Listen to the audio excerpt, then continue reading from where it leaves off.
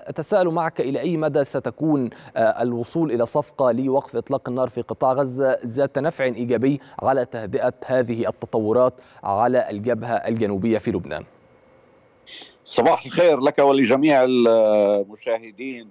الواقع أننا نمر في مرحلة صعبة في أيام مفصلية يعني إما أن تنجح الوساطة الآن وهذا الضغط الدولي الكبير. بدءا من بيان رؤساء ثلاثة دول وانضمام بالأمس أربع دول أوروبية بريطانيا فرنسا إيطاليا يعني ألمانيا إلى هذا الضغط على إسرائيل.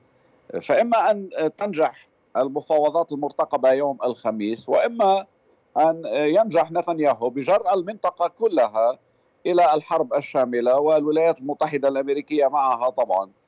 لذلك نحن في وضع حرج.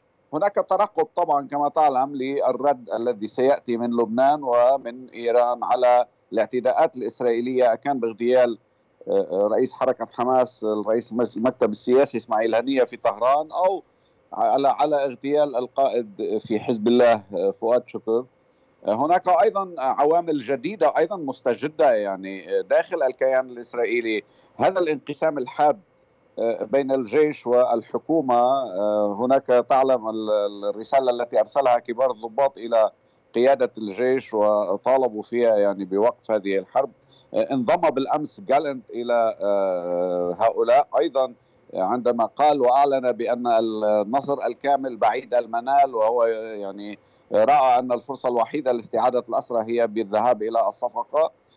هذا أيضا أمر مؤثر، الأمر الآخر أيضا ما حدث بالنسبة لإطلاق نار على الأسرى الإسرائيليين من قبل مجندين فلسطينيين كما أعلن الناطق باسم حماس أبو عبيدة. يعني هذا أمر أيضا حدث مهم جدا. سيضغط الآن كثيرا على أهالي الأسرى وعلى الحكومة الإسرائيلية. ويعني يوضح بشكل قاطع أنه لا يمكن لإسرائيل أن تستمر بعدوانها وقتلها للمدنيين في غزة وارتكاب المجازر وفي نفس الوقت تضمن سلامة الأسرى يعني الإسرائيليين وبقائهم أحياء ومعاملتهم الجيدة.